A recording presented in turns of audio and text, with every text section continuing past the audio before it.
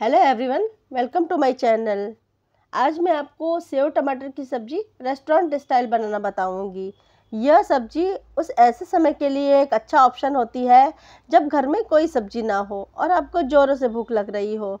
बस कुछ मसालों के साथ आपको टमाटर की एक ग्रेवी तैयार करनी है और उसमें सेव डालना है और सब्ज़ी झटपट बन तैयार हो जाती है। चलिए बनाते हैं।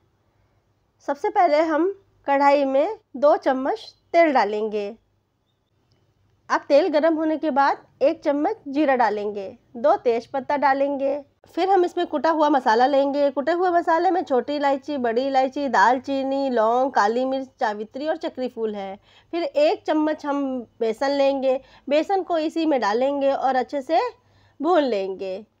मीडियम साइज़ के दो प्याज लिए हैं और प्याज को मैंने छोटा छोटा चॉप कर लिया है। वो इसी में डालेंगे और थोड़ा सा उसको पकाएँगे। अब हमारा प्याज अच्छे से पक चुका है। उसका कलर भी चेंज हो गया है।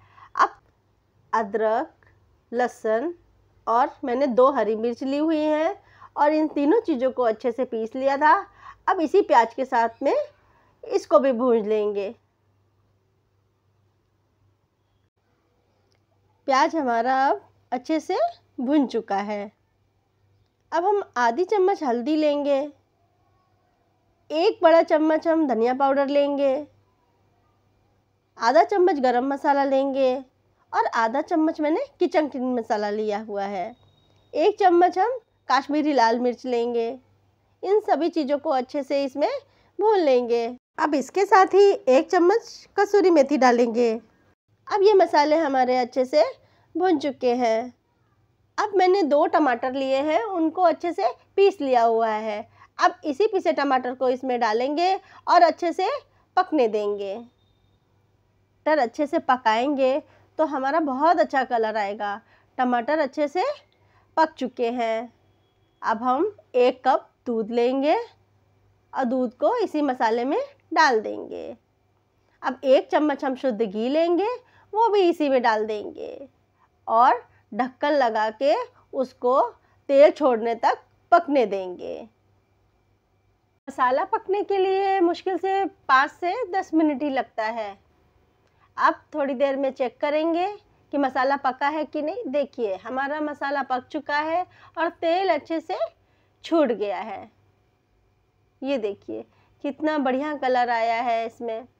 एक चम्मच नमक लिया हुआ है, वो भी इसमें डालेंगे नमक आप अपने हिसाब से डालिएगा, जैसा आप खाते हैं वैसा ही डालिएगा और आधा चम्मच चाट मसाला डालेंगे। इन दोनों चीज़ों को अच्छे से मिक्स कर देंगे।